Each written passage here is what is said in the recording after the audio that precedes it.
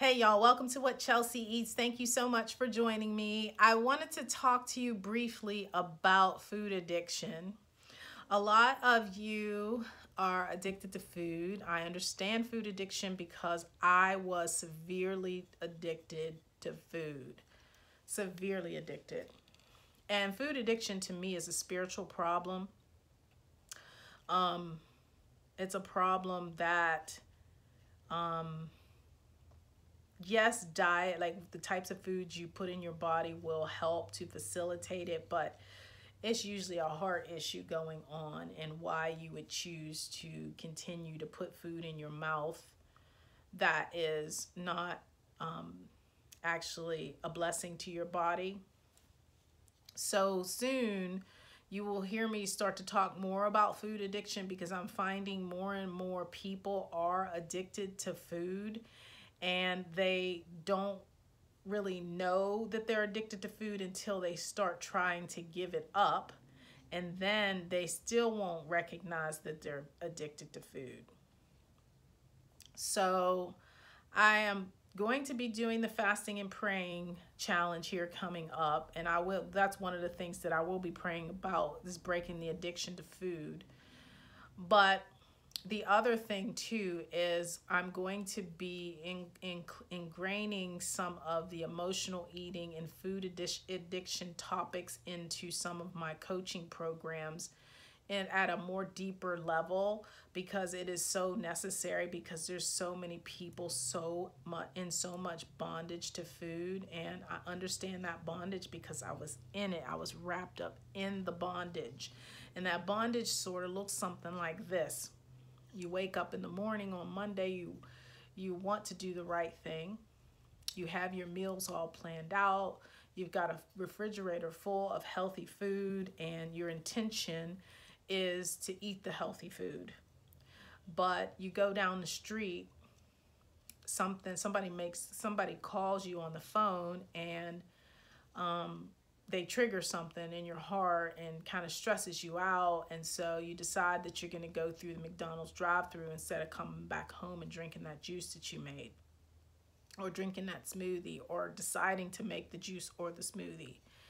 And then you are hating yourself or upset with yourself because you excuse me because you ate the McDonald's and you know now your stomach hurts because the McDonald's makes you sick because you don't really like the taste of McDonald's because it all it is is chemicals and it doesn't do anything for your body. And so you say to yourself, I'll just start tomorrow. And then you go for a free for all and you just eat whatever it is you want to eat for the rest of the day. And then tomorrow comes and the same thing happens over and over and over again and you are caught in that bondage and you cannot get it out. And after tomorrow is over, you're saying, oh, I'll just wait until Monday. And then that cycle happens over and over and over again. And you cry out to God and you're like, God, please help me. You can make this go away right now if you wanted to. Why didn't you help me?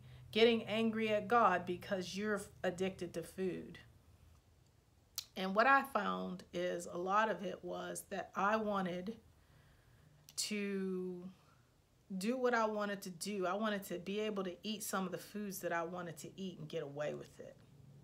I wanted him to bless me eating whatever it is I wanted to eat and not take responsibility to for whatever that was that I was eating that was causing my body to be in pain and I wanted him to take all of that away from me and he wasn't going to do it. He wasn't going to do it. Like I I mean maybe he does that for some people but he just did not allow me to stay in that cycle and be able to eat all of that stuff, like get away with eating all that stuff that was causing sickness for me.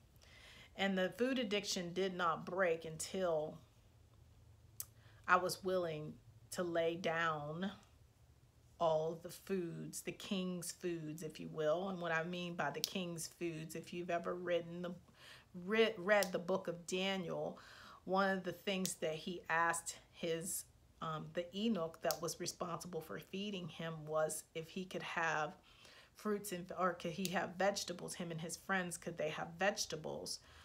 Um, because they did not want to defile themselves with the king's delicacies.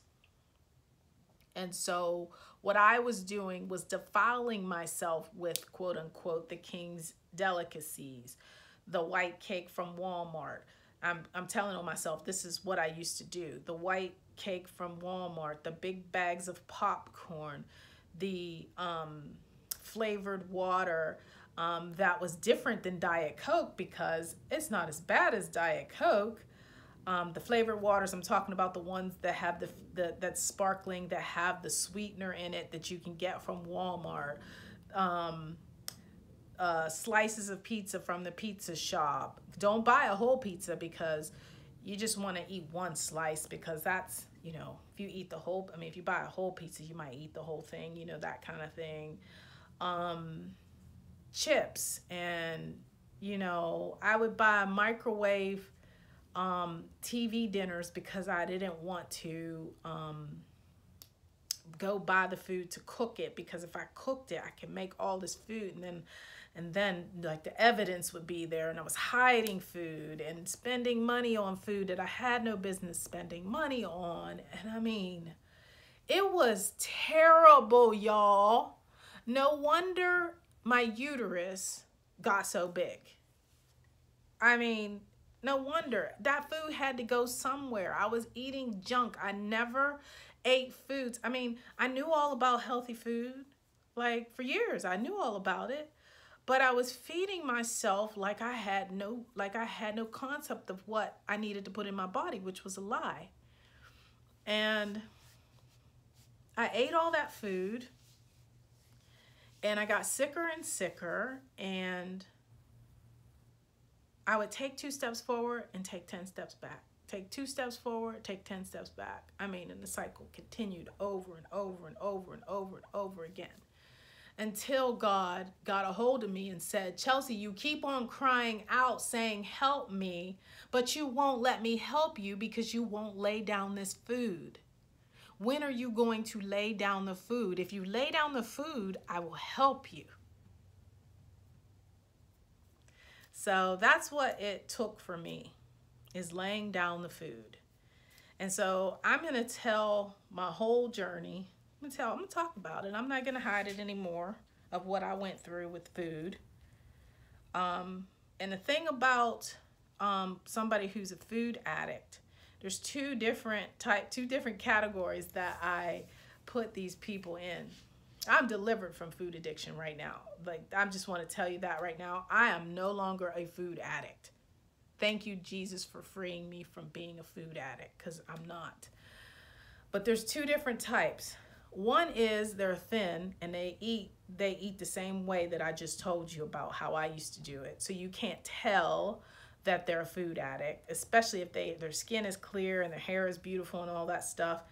Usually I can pick out a food addict when like they're thin and their skin is bad and their hair is not that great. But the fat person or the person that is overweight and they have the food issue, they're wearing it 24 7. So it's shameful. Like both of those people have shame, but somebody who's overweight, the shame is just laying on them. They're like, I know what you ate last night. I know you went through the Kentucky Fried Chicken drive through. And you're wearing it, and it's shameful and it's hard to deal with. And I know a lot of you are stuck in the prison of food addiction and emotional eating. You don't, some of you know it, and some of you don't know it. And I want to help the woman who wants to get out. If you want to get out of food addiction, please comment. You can email me, info at whatchelseaeats.com. Um, my friend Angela and I are going to be on, I think, at the end of the month. I'll give you guys the dates later and we're going to be talking more about this. And also, if you find yourself caught in food addiction, one of the things that you can do is start with my um, 30 day raw food detox because raw foods can help you get to a place where the monkey can come and get off of your back while you deal with the issues as to why you're eating all the time. I mean, most most people I talk to are addicted to food and they just don't even know it. But anyway, I'm going to stop it. Anyway, reach out to me if you're if you're struggling with food addiction. I want to talk to you. Anyway, I just want to dance all the time now, so I'll talk to y'all later. See ya. Stop.